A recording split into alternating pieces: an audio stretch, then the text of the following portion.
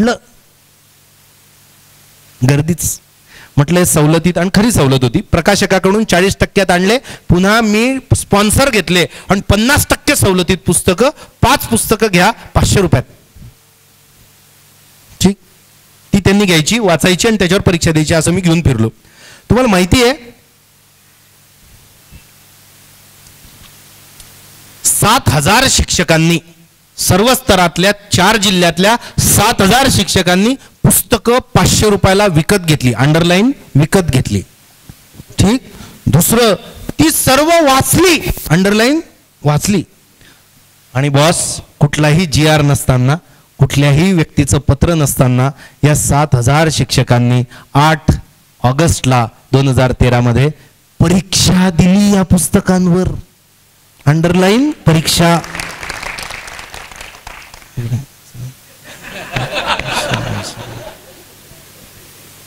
माझी खंत आहे की मला पद्मश्री का दिलं नाही या कारणाकरता?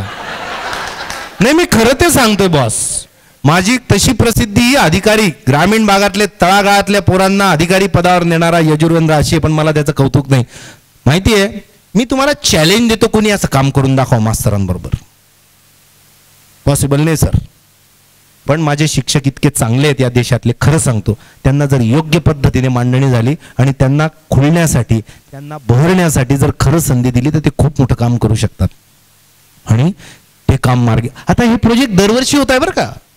याचे याचे एक विभाग तयार केले विभागाला प्रमुख दिला त्याच्याबरोबर दहा लोक जोडले ते त्यांचा त्यांचा विभाग आता मस्त काम करत आहेत मग ते काम सुरू केलं.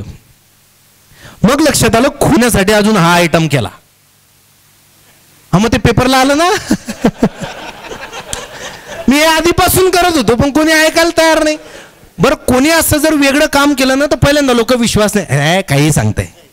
"हे, असं कोणी करतं का? हे अजून एक वेगळी तर आहे आपल्याकडे. मग असं झालं की आत्ता संस्थेला दोनशे डोनर मिळाले. पाचशे रुपयापासून पाच लाखापर्यंत डोनेशन देणारे आणि आम्ही काय करतो आता? आम्ही महाराष्ट्रभरातून चौदा हजार मुलं आमच्या एंट्रन्सला बसतात. दीपस्तंभ स्पर्धा परीक्षा शिष्यवृत्ती महाअभियान.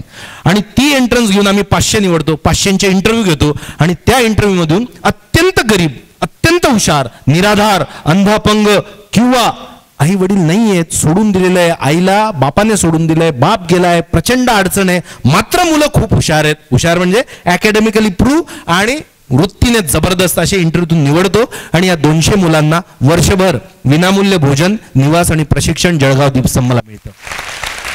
आणि ती मुलं अधिकारी होतात. बॉस तुम्हाला सांगतो किती I S I P S ते सोडून द्या. कोणतं पण परीक्षा पास झाली तर आपण अक्षरशः उड्या मारल्या पाहिजे आणि हत्तीवरून साखर वाटली पाहिजे असे पुट्टे आलेले असतात. आत्ता एक पोरगी आमची पोलीस इन्स्पेक्टर झाली. तुम्हाला माहिती आहे तिच्या बापाने तिला हुंड्यासाठी छळला आणि सोडला. दुसरं कारण असं होतं हुंड्या व्यतिरिक्त मुलगी झाली होती म्हणून सोडला. इतकी हरामखोर जनता पैदा झालेली आहे. देशात मला असं वाटतं की झोडून काढावं. काठी घ्यावी आणि मारावं यांना चांगला. काय कायदा बिदा नाही ते सगळं नंतर होईल. ती बाई रस्त्यावर आली अक्षरशः तरी पोरीला सांभाळला हॉस्पिटलमध्ये काम केला रक्त पुसायचं आणि त्या पोरीला वाढवला. अकरावी बारावीला ती पोरगी आली आणि दुर्दैव पुन्हा आड आलं देशपांडेजी आणि त्या पोरीची आई वारली. जगात कोणीच नाही. दीपस्तंभच्या शिष्यवृत्ती योजनेत आली पोरगी शिकली ग्रॅज्युएट झाली. तुम्हाला माहिती आहे फर्स्ट अटेम्प्ट ती पोरगी पोलीस इन्स्पेक्टर झाली आहे बॉस मायबाप नसलेली. अशा मी तुम्हाला दोन चारशे स्टोरी सांगू शकतो. महाराष्ट्रातल्या बावीस तेवीस जिल्ह्यातून विद्यार्थी आज तिथे शिकायला येतात. मग ती शिष्यवृत्ती योजना उभी राहिली. मग माझे व्याख्यानं छान व्हायला लागले असं मला समजायला लागलं. आणि माझ्या व्याख्यानातून हे मला समजलं की लोक माझं ऐकतात. माझ्या मागे लोक काय लागतात सगळे की नाही तुमचंच पाहिजे. लोक ऐकतात आणि बदलतात. हे समजल्यावर मग मी सांगितलं मला मानधन लागेल. अगोदर गरज माझी होती मला वाजे वाजवायची होती की अरे करा रे ऐका रे तुम्ही पुढे जाल. मग नंतर मी सांगितलं की मला मानधन लागेल. आता मी वीस हजार पंधरा हजार रुपये मानधन घेतो एका लेक्चरचे आर्टस. ठीक आहे ना? आणि रितसर पावती जाते त्या व्यक्तीला दीपस्तंभ बहुउद्देशीय संस्थेची. मागच्या नऊ वर्षातला एकही मानधनाचा पैसा माझ्या बायकोच्या आईच्या हातात गेलेला नाही. सगळं या पोरांसाठी जातं. ठरवून जे फार ग्रामीण भागातले कार्यक्रम एक रुपया घेत नाही. आम्ही भाडंही आमचा आमचा खर्च करतो. प्रश्न तो नाही आहे ज्यांच्याकडे आहे त्यांच्याकडून पैसे घेणार आणि ते चांगल्या कामासाठी वापरणार. मग तो पैसा जमायला लागला. मग प्रकाशन सुरू केलं. इन्स्पायरिंग स्टोरीज पुस्तकं छापणे. दुसरं स्पर्धा परीक्षांची पुस्तकं करणे. तुमच्या मी कोणी स्पर्धा परीक्षा देता येत एक दोन तीन चार. मी तुम्हाला गॅरंटी देतो की यांनी दीपस्तंभची पुस्तकं पाहिली आणि वाचलेली आहेत. या महाराष्ट्रातल्या जे काही सव्वा तीनशे तालुके आहेत तालुके प्रत्येक ठिकाणी स्पर्धा परीक्षांना दीपस्तंभ जे तीन किमान पुस्तकं वापरली जातात या महाराष्ट्रात मागच्या पाच वर्षात जेवढे विद्यार्थी अधिकारी झाले class one class two class three या प्रत्येकाने प्रत्येकाने दीपस्तंभचं पुस्तक वाचलंय. सत्तर सत्तर हजार कॉपी सोल्ड बेस्ट क्वालिटीचं काम करतो ग्रामीण भागातून म्हणून. त्याचा परिणाम असा झाला दरवर्षी वीस लाख रुपये आम्हाला प्रकाशन देतं शिष्यवृत्ती योजनेसाठी. हा आणि शंभर टक्के सी एस आर. स्पर्धा परीक्षेतून येणारे दहा टक्के प्रकाशनातून येणारे सर्व तीस टक्के शंभर टक्के रक्कम गरीब मुलांच्या शिक्षणासाठी जाते. संस्थेकडे एक रुपया शिल्लक नाही संस्था चालकाकडे एक रुपया शिल्लक नाही म्हणजे कोणत्याच बँकेत नाही सोन्यात नाही जागेत नाही. कोरा. ठीक आहे? मात्र काम जबरदस्त. प्रचंड मोठं झालं. आज नऊ जिल्ह्यात काम चालतं. शंभर लोकांचा स्टाफ आहे. सात लाख रुपये पगार करावा लागतो दर याला आणि तरी हे सगळं चाललंय आणि एक गरीबाचं गुणी पोरग आजपर्यंत दारातून परत गेलेलं नाही. हे काम अशा पद्धतीने उभं राहिलं. आणि आता विश्वास असा निर्माण झाला लोक वाटेल ती मदत करायला तयार होतात. मला हे सगळं सांगण्यामागे कारण नवीन पिढी जी येते लक्षात ठेवा तुम्ही जे ठरवाल ते तुम्ही करू शकाल. इट इज पॉसिबल कशालाच नाही नाही म्हणायचं. If it is your passion आणि तुम्हाला प्रचंड मेहनतीची तयारी असेल चौदा पंधरा तास रोज काम होतं. असे हे जे मी तुमच्याबरोबर आता करतोय असे साडे चौदाशे व्याख्यानं झालेत माझे नऊ वर्षात. साडेसहा लाख लोकांना भेटलेला माणूस बोलतोय तुमच्याशी. इट इज पॉसिबल जर तुमचं ते पॅशन असलं. जग तुमच्या विरोधात गेलं तरी चालेल पण तुम्ही नक्की यशस्वी व्हाल. हा विश्वास आपल्यामध्ये असला पाहिजे. मग असे सगळे विभाग वाढत गेले. मग काय विभाग राहिला सर आता? नवीन जे आता सुरू केलंय अंध अपंगांसाठी. हा हा हा हा हा. मग मला काय लक्षात आलं? माझ्याकडे अनेक मुलं असे आहेत तेरा मुलं जवळपास. त्यांना बेटा दोघं पायच नाही आहेत ते हातावर चालतात. आणि ते माझ्याकडे येऊन म्हणतात सर हमें आप हेल्प कीजिए. गफूर नावाचा आहे. याने बघितलंय सगळं नर्सिंग कत्तूरवारने सर मेरे को कुछ बनना है. आणि ते पोरग स्पर्धा परीक्षा देतं क्लास वन होण्यासाठी. आणि तीन तीन मजले हाताने चढतं. मग अनेक अंध लोक मला बघायला मिळाले सरांच्या कार्यक्रमात बघायला मिळाले. मला असं वाटलं हे क्लास वन होऊ शकतात पण हे सगळे क्लरिकलवर दिसतात तुम्हाला. का तर मी सगळं शोधलं आजपर्यंत असं कोणी म्हटलंच नाही यांनी क्लास वन व्हावं. अशी गायडन्सची व्यवस्थाच नाही अशी प्रोत्साहनाची व्यवस्था नाही प्रेरणेची व्यवस्था नाही सपोर्ट सिस्टीम नाही. आणि त्यांच्या दया निर्माण केली जाते समाज. अरे अरे. अरे अरे अरे अरे दिसत नाही ना. हे सगळं मला दूर सारायची इच्छा झाली आणि आम्ही आता असं ठरवलंय. कदाचित या देशातलं पहिलं अंध आणि अपंग विद्यार्थी क्लास वन होतील असं निवासी स्पर्धा परीक्षा केंद्र जळगावला जुलैमध्ये सुरू होत आहे महाराष्ट्रभरातून शंभर अंध अपंग निवडणार आणि त्यांना ब्रेलमधलं काम आता सुरू केलं मटेरियलचं ऑडिओचं काम सुरू केलं सगळं. आणि साहेब सांगतील अधिकारी पदाला सगळ्यात महत्त्वाचा कोणता स्पेअर पार्ट लागतो माहिती आहे ब्रेन. ब्रेन लागतो ना. अहो एखादा कलेक्टर आला तर त्याला तीन पी असतात आपल्याकडे.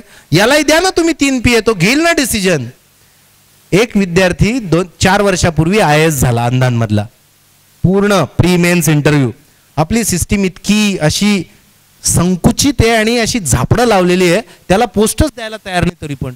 तो सुप्रीम कोर्टात गेला की मला एक्झिक्युटिव्ह पोस्ट पाहिजे मी तुमचे सगळे मानकं पूर्ण केले की नाही? मला पोस्ट द्या. जिंकला आता मध्य प्रदेशमध्ये आय एस आहे. इट इज पॉसिबल यार. असं आता माझा प्रवास सगळ्या महाराष्ट्रात चालला या पुढच्या महिन्यात दीड महिन्यात. सगळे अंध अपंगांना एकत्र करणार. आणि सर त्यांना दोन गोष्टी द्यायची इच्छा आहे. मी या तीनच महिन्यात शिकलो. त्यांना काय पाहिजे माहिती आहे त्यांना आत्मविश्वास आणि आनंदाची अनुभूती पाहिजे. त्यांच्या आत काय दाटलं असेल ते तुम्ही जस्ट विचार करा. आपल्या मुलीचा नुसता करंगळीला जरी असं काही झालं किती वाईट वाटतं? त्यांना हातच नसतो. काय होत असेल? मानसिकता काय होत असेल? आणि त्यांच्या मानसिकतेवर पण काम करायचं आता आपण ठरवलं. तर ते एक सेंटर उभारलं जात आहे दुसरं काय अजून? हां यस. प्राथमिक शाळांचं सक्षमीकरण झालं पाहिजे झेडपीच्या. ठीक आहे? आपल्या देशाची एक गंमत आहे. सर्व्हिस पाहिजे सरकारी गाडी पाहिजे प्रायव्हेट. एस टीत जायचं नाही. नोकरी सरकारी पाहिजे. सरकारी ऑफिसेस ठिकाणावर दिसतच नाही का? कारण ती कोणाच्याच बापाची नसतात. हे सरकारचं आहे असं म्हणतात लोक. आणि सरकार कोण आहे? लोकांचे लोकांनी लोकांसाठी चालवलेलं राज्य म्हणजे आपण सरकार आहोत. तर आम्ही आता असं ठरवतोय झेडपीच्या शाळांचं सक्षमीकरण करण्यासाठी माझा खास दोस्त आणि आमचा जावाई ऍक्च्युली आता आमच्या जळगावच्या झेडपीला सीओ म्हणून आलेला आहे. ठीक आहे? तो आल्यामुळे आम्ही आता अशी योजना करतोय. शंभर शाळा आम्ही झडपीच्या दोन वर्षात मॉडेल स्कूल करणार. डिजिटल पण आणि माणसं पण. लक्षात ठेवा गुणवत्तेचा अर्थ फक्त तंत्रज्ञानाने होणार नाही. तुम्हाला माणसाचं सक्षमीकरण करावं लागेल. तर आम्ही आता झेडपीचा शंभर शाळांचा प्रोजेक्ट घेतला. दोन वर्षात करणार पक्क काम. खरं सांगू काय करायचं फक्त? तिथल्या माणसाला एम्पावर करायचं आहे दॅट्स इट आणि शासनाच्या योजनेत सगळ्यात मोठा दोष असा आहे की ते दरवेळेस ट्रेनिंग घेतात त्याच्यात जेवणाचंच महत्त्व जास्त असतं. आणि ट्रेनरला दोनशे रुपये पण देत नाही. त्यांच्यातलंच मोठं एक उठवतात म्हणताय पुढे बोल. आणि जेवणाचा कॉन्ट्रॅक्ट मात्र दीड लाखाचा असतो शंभर लोकांचा. या देशात शिक्षण आम्ही असं स्वप्न बघतोय की शिक्षकांची म्हणजे टीचर्स युनिव्हर्सिटीज तयार करायची. या देशातल्या सर्व समस्यांचं सोल्युशन जर टीचर एम्पॉवर झालं तर होणार आहे. कारण तो हजारो लाखोंना एम्पॉवर करणार आहे. असं सगळं आता ते काम सुरू झालंय. अजून एक काम करतोय आम्ही. आपल्या शिक्षण व्यवस्थेतली अजून एक गोष्ट मला खटकते तुम्हाला खटकते की नाही मला माहीत नाही. आपली शिक्षण व्यवस्था आपल्याला सेटल करायला म्हणते. आपण सांगतो ना का मुलगा काय करतो? मुंबईला आहे. काय करतो? इंजिनियर आहे मल्टीनॅशनलमध्ये मुलगी ती डॉक्टर आहे ती तिथे हॉस्पिटलला आहे का? सेटल आहेत एकदम. माझ्या दृष्टीने सेटल एकच गोष्ट असते जगात प्रेत. आणि आपली अख्खी व्यवस्था अशी सेटल करायला तुडली की मस्त असे सेट होऊन जा. सेट म्हणजे गव्हर्नमेंट गव्हर्नमेंट नोकरी का हवी असते लोकांना? देशाची सेवा करायची असते का? भूकंप झाला पूर आला महामारी आली रोगराई आली तरीही काहीही फरक पडत नाही ती सरकारी नोकरी. समजतंय? मी कायम सांगतो विद्यार्थ्यांना अशा उद्देशाने इकडे येणार असाल तर येऊ नका आम्हाला पापात पाडू नका. तुम्ही असे तिकडे पास होऊन गेले तर आम्ही पापात पडू की यांनी पाठवला आहे कोणी जर तुम्हाला सांगितलं की काय शिक्षण झालंय एम एस सी काय नोकरी करतोस? नाही अजून नाही. हा मग काय उपयोग झाला? शिक्षण का घेतो आपण? इथून फंडामेंटल प्रॉब्लेम आहे. आपण शिक्षणाला महत्त्व देतो? नाही. येस देतो. दहावी बारावीत खूप मेहनत घेतो. म्हणजे आपणही घेतो मुलांबरोबर. अनेक पालक आजकाल मेहनत घ्यायला लागले दहावी बारावीला. नोट्स आणतो दूरदूरच्या क्लासेस लावतो सगळं करतो. चांगली गोष्ट आहे. गुड पण का घेतो ही बारावी दहावीला मेहनत? बेटा तुला काय वाटतं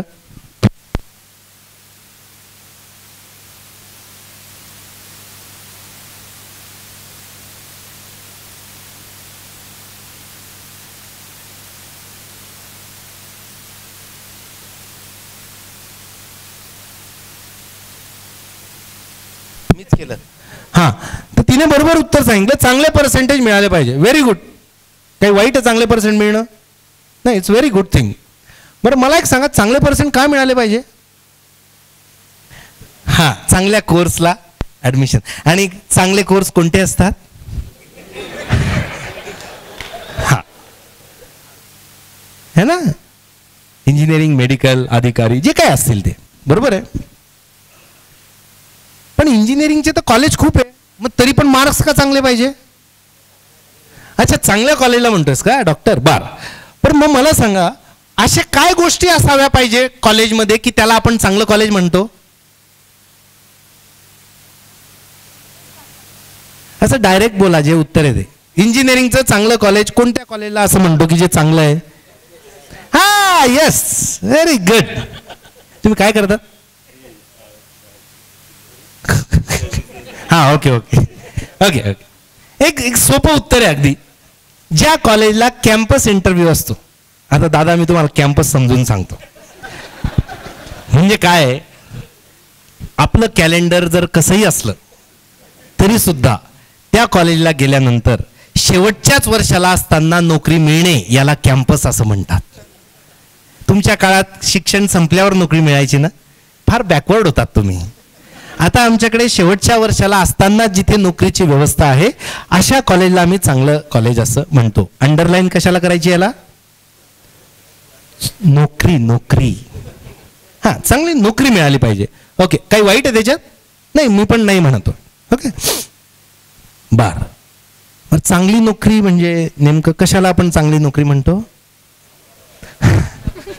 चांगली सॅलरी हा सिंपल हे माणूस टाइमपास करताय आयुष्यभर. एवढे या माणसाला एवढी साधी गोष्ट नाही समजली. या पोरीला समजतं यार. उगा. काहीतरीच. तर ज्या नोकरीतून जास्त पैसे मिळतात त्याला चांगली नोकरी असे म्हणतात.